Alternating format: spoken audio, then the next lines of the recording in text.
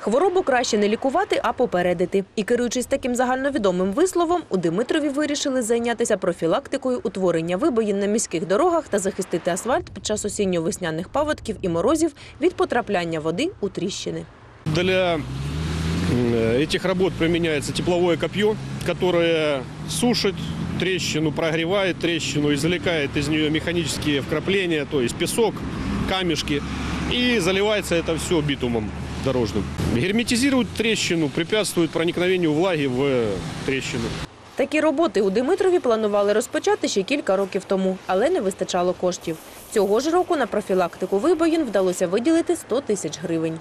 Порядка 50 тысяч гривен было выделено на оборудование.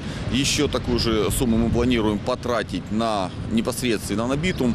Э, Я хочу сказать, что э, вот эти работы э, позволят, я думаю, порядка раза в 3-4 сэкономить расходы весной на ямочный ремонт. Я думаю, что м, весной мы будем качественно отличаться от других городов э, Донецкой области, да и в целом Украины, э, те, кто не проводят такие виды работ.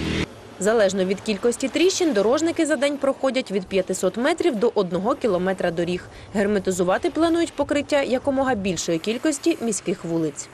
Мы планируем Артема, улицу Артема, улицу Ватутина, э, выезды наши на, в сторону Красноармейска, на Гродовку, со стороны шахты Стаханова. И также потом мы зайдем на микрорайоны. Дорожники зазначають, що герметизувати тріщини можна навіть за незначних морозів. Головне, щоб не було дощу. Тож за сприятливих погодних умов профілактику утворення вибоїн у Димитрові планують завершити вже за місяць.